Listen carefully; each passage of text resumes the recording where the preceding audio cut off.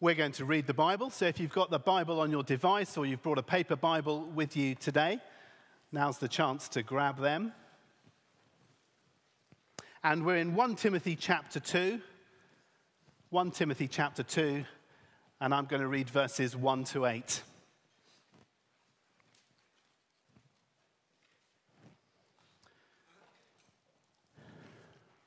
One Timothy chapter 2 and verses 1 to 8. The Apostle Paul writes these words I urge then, first of all, that petitions, prayers, intercession, and thanksgiving be made for all people, for kings and all those in authority, that we may live peaceful and quiet lives in all godliness and holiness. This is good and pleases God our Saviour who wants all people to be saved and to come to a knowledge of the truth. For there is one God and one mediator between God and mankind, the man Christ Jesus, who gave himself as a ransom for all people. This has now been witnessed to at the proper time. And for this purpose, I was appointed a herald and an apostle. I am telling the truth, I am not lying and a true and faithful teacher of the Gentiles. Therefore, I want the men everywhere to pray, lifting up holy hands without anger or disputing. I'm going to hand over to Raymond.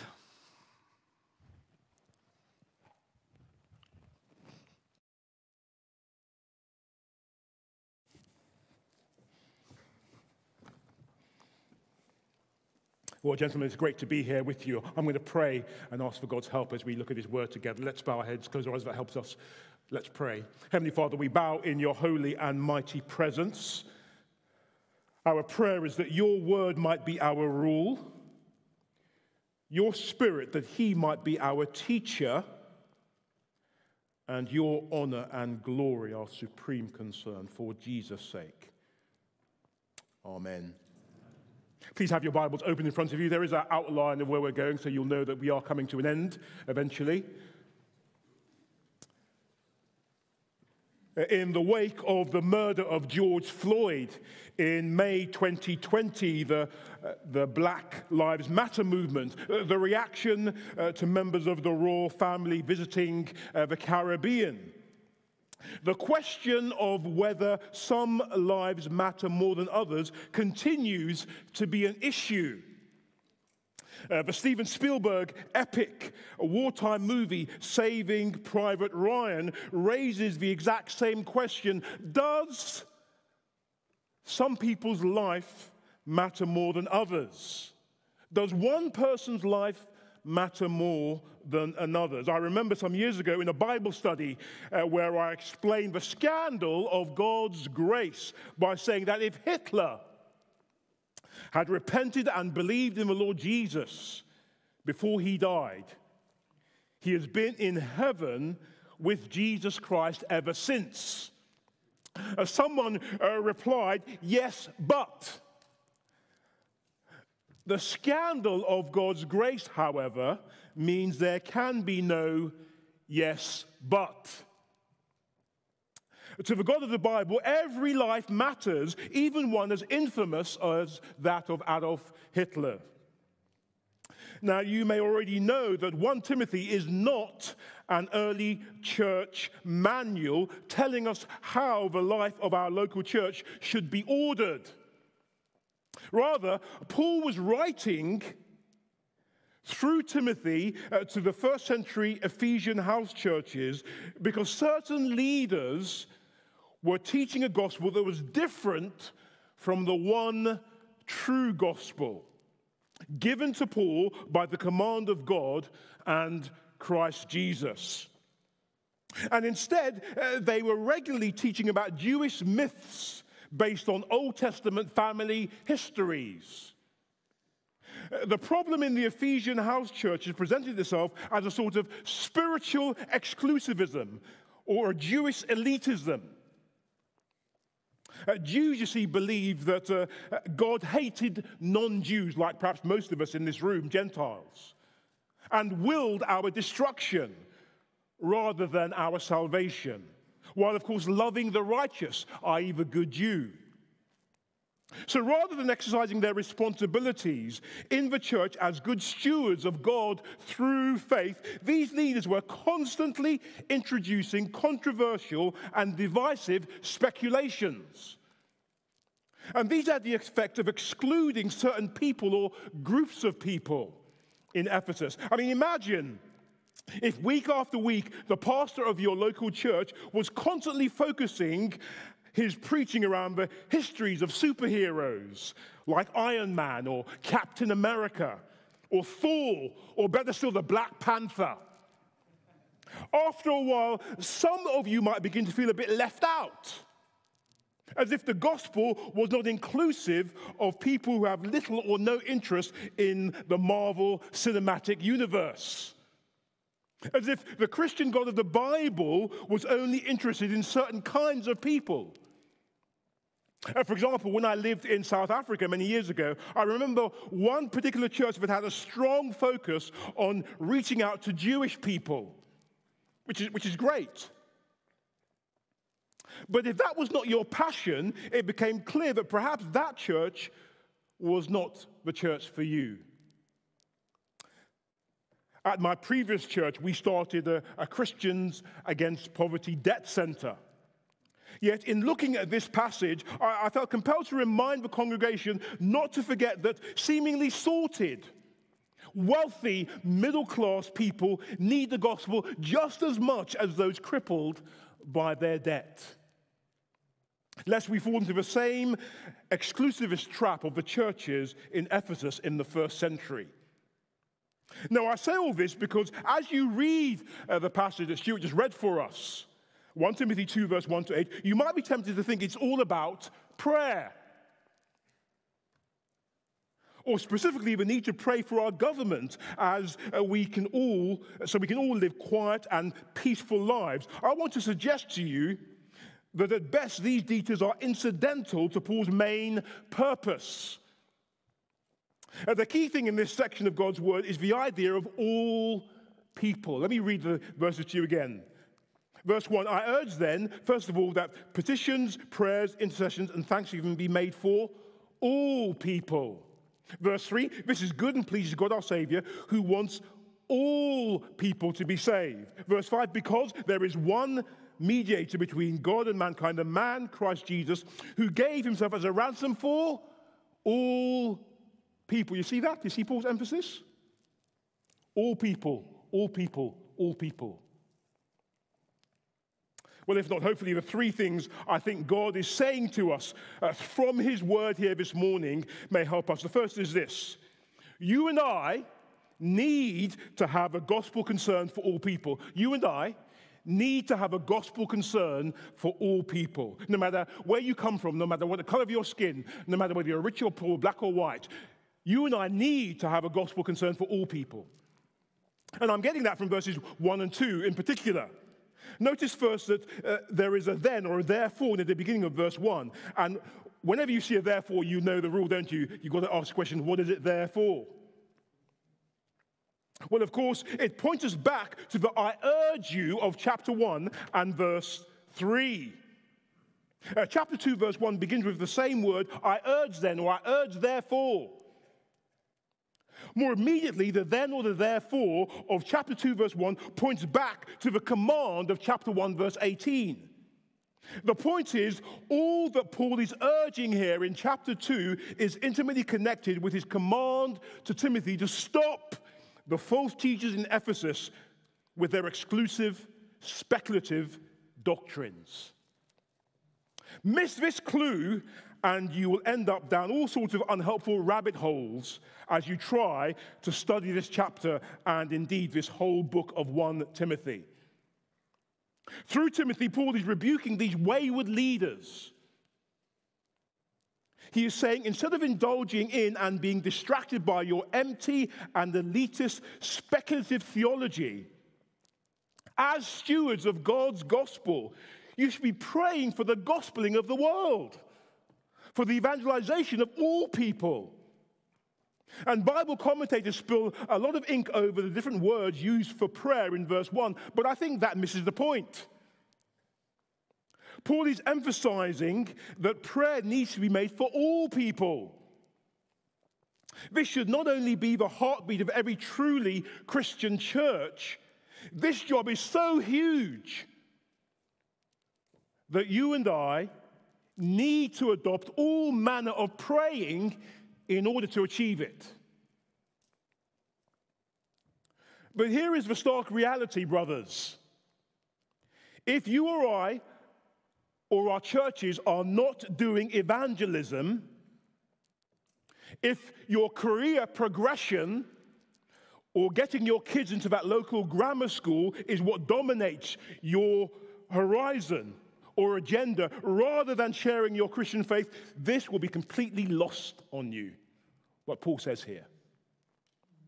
One Bible commentator put it like this The point is that all prayers of all types should be for all people. Now, another writer puts it this way in every possible, in every way possible, Paul urges pray. Pray for those you know and those you do not, especially those in high places. Notice our passage begins and ends with prayer, verse 1, verse 8. Verse 8, I think, is a kind of transition verse that both looks back to verses 1 to 7 and forward to verses 9 to 15. You see, since men should be leading the church. Paul tells the men in the house churches of Ephesus in the first century stop being angry and argumentative and instead lift up, verse 8, holy hands as you pray for those around you that don't know God as Savior and Christ Jesus as their only hope. I think the reason Paul singles out praying for kings, rulers, or emperors in verse 2 is because the leaders of the churches in Ephesus, as they indulge in their theological flights of fancy, they're excluding or neglecting to pray for the pagan authorities that govern them. I used to think Paul was saying we should pray for our political leaders and the stability they bring so we can live lives uh, trouble free lives in order to preach the gospel. There may be some truth in that, but I don't think that is Paul's main thrust in verse 2. Not least because elsewhere he writes, everyone, everyone who wants to live a godly life in Christ Jesus will be persecuted. 2 Timothy 3, verse 12. And Paul's life was seldom peaceful and quiet. You notice that if you read the book of Acts. He suffered a good deal for the sake of the gospel. I think Paul detected a growing and unhealthy sectarian spirit in the Ephesian house churches, one that was, a, was lacking in concern for certain kinds of people, particularly where governing authorities were concerned, leading to a potential upsetting of the social order. You see, in the pastoral epistles, 1 2 Timothy and Titus, Living a, peaceful or quiet life is all in all godliness and holiness, verse 2, is often very much connected with not bringing the gospel into disrepute, but rather making it attractive to outsiders. Titus chapter 2, verse 9 and 10. As Christians, you and I must show ourselves to be godly and respectful in our prayers for society, its stability, and for its salvation. For example, God's people living in exile in Babylon were told by the prophet Jeremiah to pray for the prosperity of the city and to be practically committed to its welfare. My point is this if the Prime Minister, Rishi Sunak, or Sadiq Khan the mayor of London, visited your church.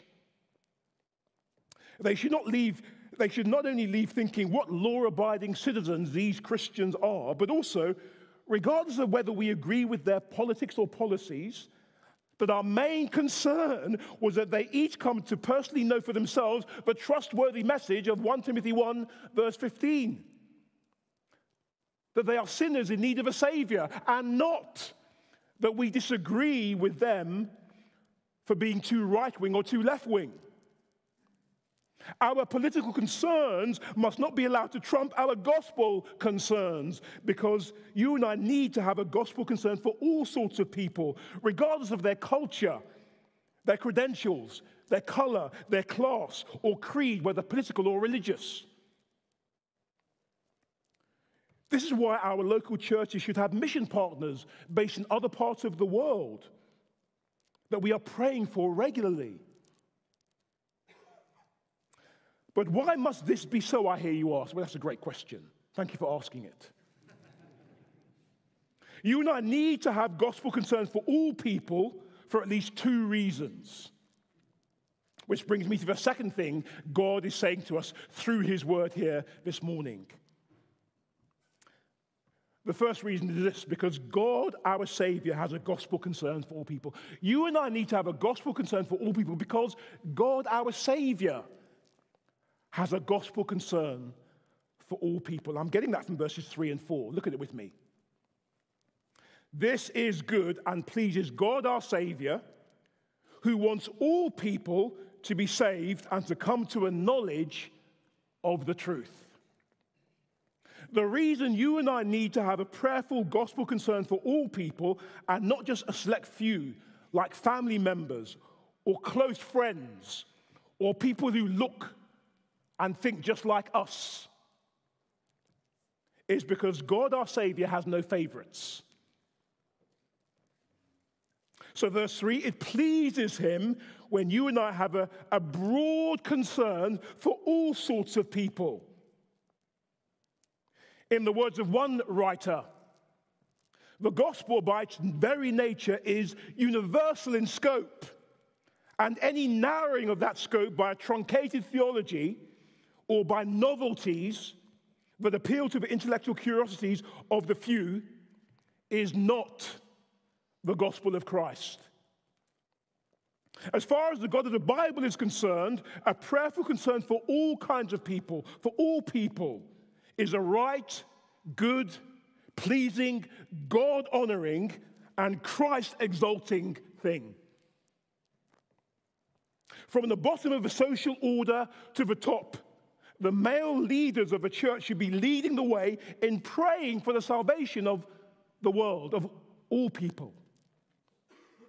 Now, in verse 4, Paul is not saying that everyone will make it to heaven. I hope you know that. Not everyone is going to be in heaven, Lord willing, with each of us here this morning. Bible scholars tie themselves up in knots, debating, arguing over the dilemma posed by verse 4. How can God want everyone to be saved and yet not allow everyone to be saved? And to resolve this, some differentiate between what God wants to happen and what he will allow to happen. Others debate the seeming contradiction uh, between divine sovereignty and human moral responsibility. Now, as helpful as all that sort of thing is, I think the context of 1 Timothy is more helpful.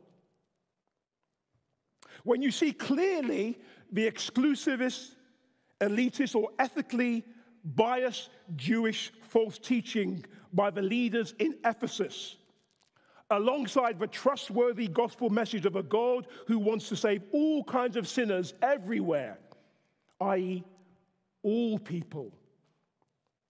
It seems clear to me that Paul writes what he does in verse 4 because he's anxious to emphasize the wide or all inclusive, all embracing nature of the gospel. God, our Savior, there's a big clue for you, is a saving God. So it is not that Paul believes in the universal acceptance of the gospel.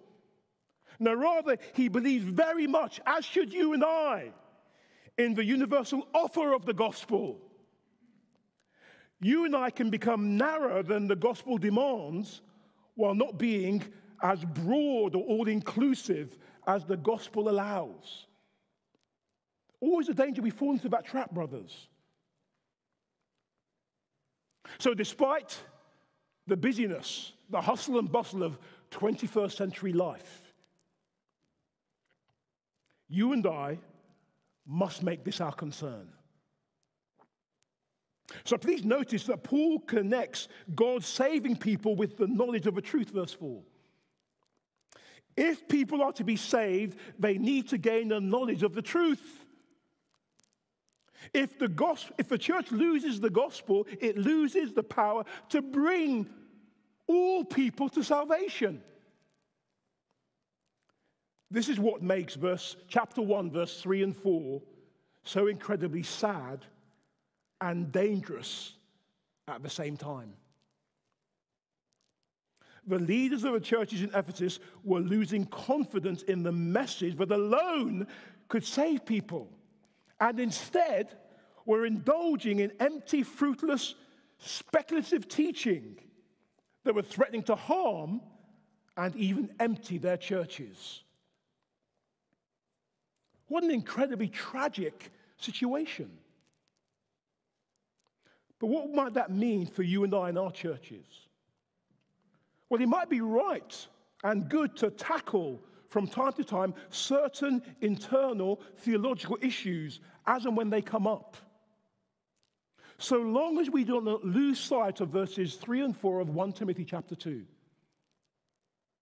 So long as we don't forget that we worship a God who is concerned for the salvation of all people outside of our Christian communities. We must not allow ourselves to get distracted by internal theological arguments or squabbles that cause controversy and division while absorbing huge amounts of emotional energy, such that we lose sight of the agenda of God our Savior so that we have little or no energy left over to reach all people outside our church communities. As you practically, as you look across your church year calendar, you should be concerned if it is filled with meetings taken up with merely Christians talking to other Christians about all the hot potatoes issues of our day same sex marriage, gender, predestination, debates about how many angels can fit on a pinhead, or whether Adam had a belly button or not.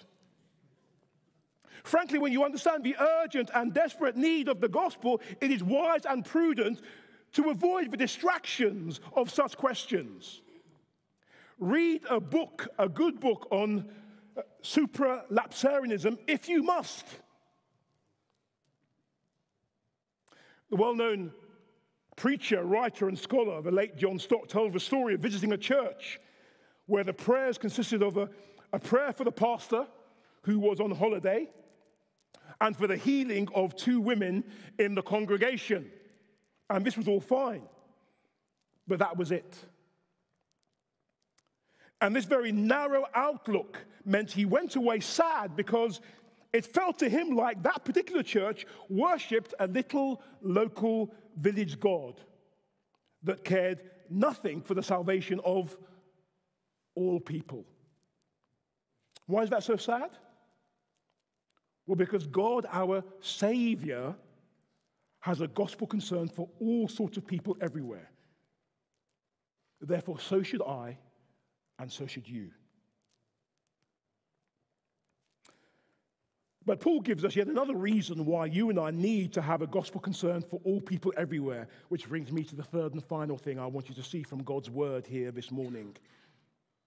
First, you and I need to have a gospel concern for all people because, first, God our Savior has a gospel concern for all people. But third and last, because Christ Jesus himself demonstrated a gospel concern for all people.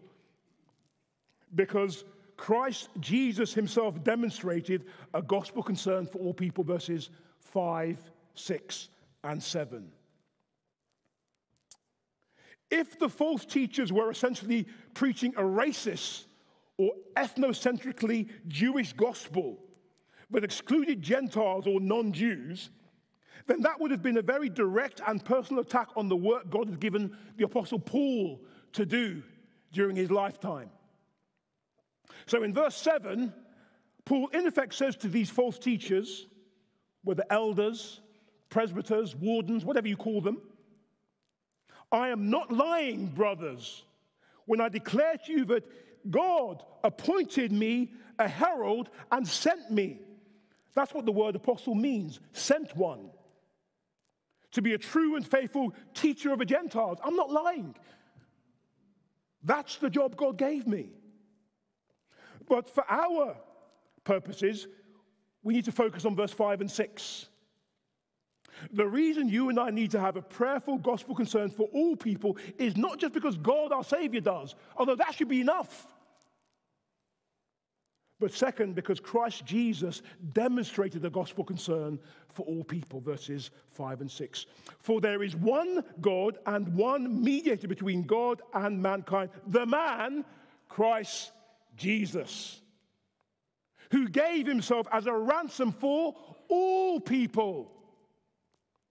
This has now been witnessed at the proper time, 2,000 years ago, outside Jerusalem on a Roman cross.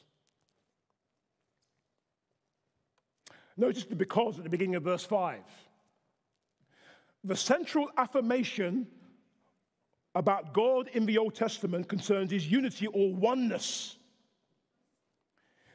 You see, if there were, were many gods, no single deity could claim or presume to have a monopoly on this world's worship or devotion. No one God, no one of these gods could, could claim the world's adoration. At least not until he defeated all the other gods in some celestial battle, becoming numero uno. But among God's people, and from a young age, children were taught to recite the Shema. That is this Hear, O Israel, the Lord our God, the Lord is one. So love him with your everything. Deuteronomy 6, verse 4 and 5. And this was a clear rebuke to the polytheism of the surrounding nations of the ancient world. This clear teaching of the Old Testament is picked up here by Paul in verse 5. It was a rebuke to the first century pantheon of Greek and Roman gods. It is also a rebuke to our modern pluralism, which states that there are many equally valid roads to a relationship with the one true and living God. No, there's not. For example, it is a corrective to Hinduism with its millions of gods or to ancestor worship, whether in Africa or in the Far East. All this attention all this world's religious devotion rightly belongs to and therefore must be given to the one true Christian God of our Bibles.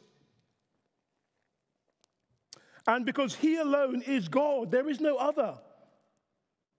And so He will not share this world's devotion, adoration, worship with any other. He cannot. His character won't allow it. So in Exodus 34 and verse 14, Moses wrote this Do not worship any other God, for the Lord, whose name is jealous, is a jealous God. So he wants all people everywhere to come to understand the truth about himself. He can't help himself. It has to be known. And one day will be known by every living creature that has ever lived on this planet. That is what the unity or the oneness of God means. And as a direct consequence, he has sent into our world one mediator and therefore only one way back to himself. Verse 5. Notice, not one God and many ways, but one God and one way through one mediator. Uh, put that another way. This one and only way is an all sufficient, a uniquely all sufficient way. Now, a mediator represents two sides and was tasked with bringing them together despite great personal cost. Think of a negotiator, perhaps, in an important business deal, like the recent deal between Twitter and Elon Musk, who acts as a kind of go between, trying to bring the two sides to agree together. Well, Jesus Christ takes that to another level. As he takes on the toughest job of all of adequately representing God and man. Notice Paul emphasizes the humanity of Jesus. Now, Paul is not saying Jesus was not also divine or fully God. That again is to miss the point. No, Paul writes of the man, Christ Jesus, verse 5, because he wants the churches in Ephesus, and particularly the erring elders, the wardens, the presbyters, the leaders, to understand that Jesus is the man par excellence, who alone is able to adequately represent all men or all people everywhere, regardless of their culture, their credentials, their color, their class, their creed. Only Jesus can represent all people because he's fully God and fully man in one person. And this was the very thing the church leaders in Ephesus were in danger. Can you believe it? Of forgetting. How could you forget this? And for Jesus, our chief negotiator, the personal cost could hardly have been any higher. He gave himself, verse 6. He could literally give no more. As a ransom, instead of, on behalf of all people, everywhere, including every single one of us in this room.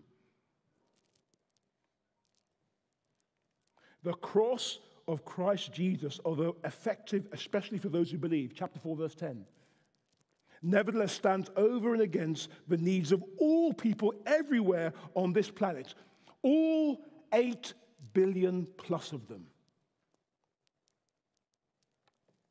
Although God, in and through Christ Jesus, is potentially the Savior of all people, his gospel is only effective for those who believe,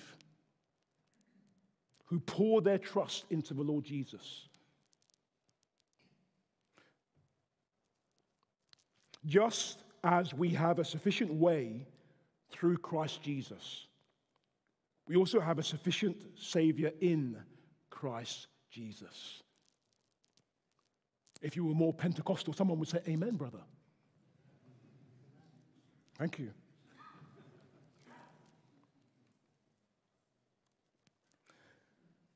Jesus Christ demonstrated a gospel concern for all people. Can I say, if you're not a Christian here this morning, it's great that you're here. Thank you for listening to me for this far. I want to say to you that God is your Savior, and He's concerned about you. He wants to know you and love you and be in a relationship of eternal friendship with you. And Jesus Christ demonstrated a love for you, a concern for you by dying in your place on that cross 2,000 years ago. If you haven't come to him, come to him now. Turn from your wrong, all the wrong you've done, and turn to Jesus and ask him to help you to put your trust in what he did for you. So, brothers, young and not so young, as those who should be at the forefront of leading or helping to lead your local churches, where are you when it comes to your concerns, specifically your gospel concerns? Is that phrase even one that's on your radar? That I'm someone, I'm a man who should have gospel concerns, not just secular worldly concerns, but gospel concerns? Are your concerns aligned with those of God, your Savior, and Christ Jesus, who alone made your salvation possible, bringing hope in this world and the one to come? And if God, our Savior, and Christ Jesus' concerns are not your concerns, brothers, why not? And what are you going to do about it? Let's bow our heads and close our eyes and maybe spend a minute thinking about that very question.